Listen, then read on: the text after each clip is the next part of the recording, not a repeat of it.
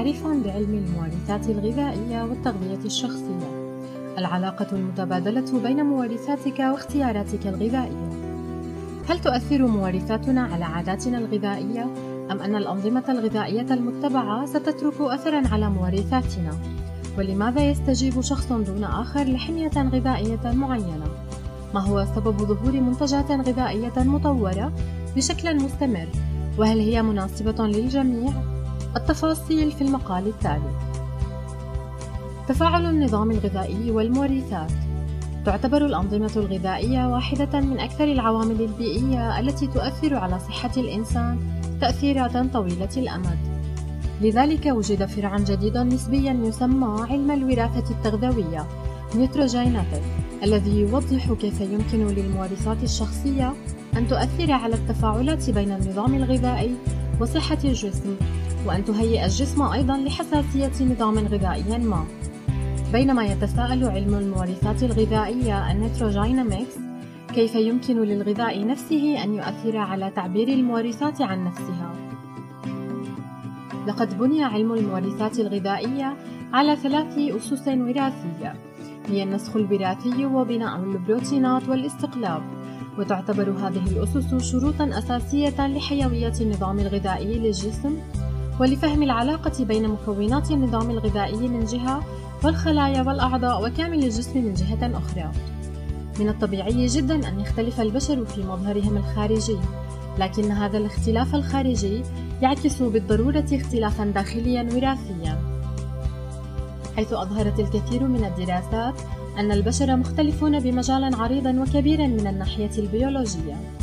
وهذا الاختلاف يعود إلى أسباب متنوعة منها الجانب الوراثي الكروموزومي وأبرز مثال عليه اختلاف الذكر عن الأنثى بسبب الاختلاف في كروموزوم واحد فقط أو بسبب مجموعة من المورثات كما في بعض الحالات المرضية مثلا. قد يكون الاختلاف ناتجا عن العمر والمرحلة الحياتية كالحمل والرضاعة أو الطفولة على سبيل المثال. يؤثر الاختلاف الوراثي على عاداتنا الغذائية ويمكن أن يحدد تأثير الغذاء على أجسامنا ويغير من استجابتنا لمكونات النظام الغذائي التي تتفاوت حسب المرحلة العمرية ونمط الحياة والحالة الفردية. حيث كثرت في الآونة الأخيرة الأمثلة على استفادة أحدهم دون الآخر من حمية غذائية تعالج البدانة مثلاً. عامل آخر مؤثر في المظاهر الغذائية الشخصية هو نمط الحياة. إن الجانب الأكثر حساسية والذي يؤثر في بيئة الأفراد ومظاهرهم الغذائية هو الاختيارات المتوفرة من الطعام. هناك مثلا اختيارات متنوعة ومتزايدة لمجموعة من المستهلكين غير متوافرة لآخرين. هذا التنوع قد يقود إلى تناول كمية كبيرة أو قليلة من الطعام في وجبة واحدة أو في عدة وجبات. والتحكم في كمية السعرات الحرارية التي تدخل إلى الجسم. العامل التالي الذي يؤدي إلى الاختلاف البشري هي البيئة. تشمل البيئة في هذا السياق كل المؤثرات الخارجية التي تؤدي إلى تشكل مظاهر بحد ذاتها كالأمراض الحادة أو المزمنة أو الحالات العشوائية. إضافة إلى ذلك، هناك تأثير العوامل الكيميائية والفيزيائية والسلوكية. وكنتيجة متوقعة سوف يكون لهذه المدخلات الجديدة تأثير فريد ونوعي على أشخاص معينين وستفرض بالتالي تغيرات هامة في نظامهم الغذائي. أدت هذه الجوانب وغيرها إلى تبلور مفهوم التغذية الشخصية، وهو مفهوم ليس جديد وطبق لقرون عديدة، لكن الجديد في الأمر هو إدخال نتائج أبحاث هذه الفروع العلمية بأسس تصنيع الغذاء والطعام. فخيارات الطعام كانت مرتبطة دائما بالرغبات الشخصية والتجارب الفردية مراعية بذلك العادات المجتمعية والحالة الاقتصادية.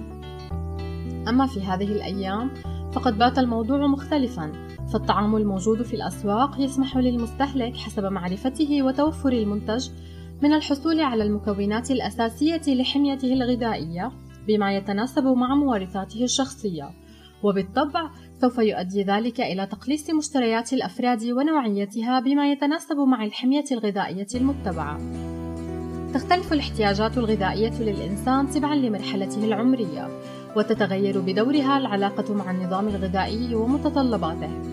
ففي سن البلوغ مثلا والانتقال إلى مرحلة الخصوبة الجنسية تحدث تغيرات هامة في الحالة الهرمونية مترافقة مع تغيرات فيزيائية واستقلابية وبالطبع تغيرات في الحاجات الغذائية والاستجابة لها أما الاختلافات الأخرى فقد تنتج من التأثيرات البيئية التي يمكن أن تكون خارجية المنشأ وعشوائية التأثير كالتعرض لأشعة الشمس أو للمواد السامة أو المثيرة للحساسية أو أن تكون تأثيرات داخلية المنشأ لها علاقة بنمط الحياة كممارسة التمارين الرياضية والنوم المنتظم وعدد الوجبات الغذائية. إن المورثات الغذائية وعلم الوراثة التغذوية أصبحا الآن الأساس العلمي الذي يبنى عليه فهم التباين البشري في الأولويات والمتطلبات الغذائية والاستجابة للنظام الغذائي المحدد. لكن تحدد المنتجات الغذائية المتوافرة حاليا الرغبات الغذائية للمستهلكين على أساس التجربة العلمية والآراء الشخصية ولا تعتمد على هذين الفرعين من العلوم إن إشراك المورثات الغذائية والوراثة التغذوية في تحديد الاحتياجات الغذائية للمستهلكين يحفز الحصول على المشورة الغذائية الشخصية للحفاظ على الصحة والوقاية من الأمراض. فلقد أصبح مصطلح التغذية الشخصية مفهوما مرادفا تماما للطب الشخصي. مؤخرا وبفضل تقدم أساليب منع انتشار الأمراض ومعالجتها والزيادة الملحوظة في عمر الإنسان أصبح هنالك الكثير من الأشخاص الذين يصلون إلى مرحلة الكهولة أو كبار السن. ومع زيادة عدد هؤلاء كان لابد من ملاحظة حالتهم الفريدة من الناحية الفيزيولوجية والاستقلابية والميكروبية وبالتالي حاجتهم الفعلية لنظام غذائي نوعي. أصبح الأفراد بشكل عام مهتمين بمعرفة مورثاتهم ليتم من خلالها تحديد ما يناسبهم من أنظمة غذائية. بعد دراسات متوالية بهذا المجال. لا ننسى أن المورثات ليست الوحيدة صاحبة الشأن في هذا الموضوع فهنالك عوامل حيوية أخرى كعمليات الاستقلاب وبناء البروتينات التي تلعب دورا هاما في انتقائية الأنظمة الغذائية.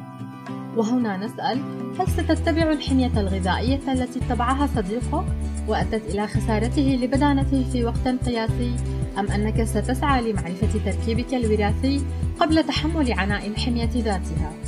في النهاية لابد من القول أن علماء الوراثة يحاولون باستمرار تقديم المزيد من الأدلة الواضحة حول أسباب ملائمة حمية غذائية لفرد دون آخر. تعتمد هذه الأدلة على دراسة كل من المورثات الغذائية وعلم الوراثة التغذوية.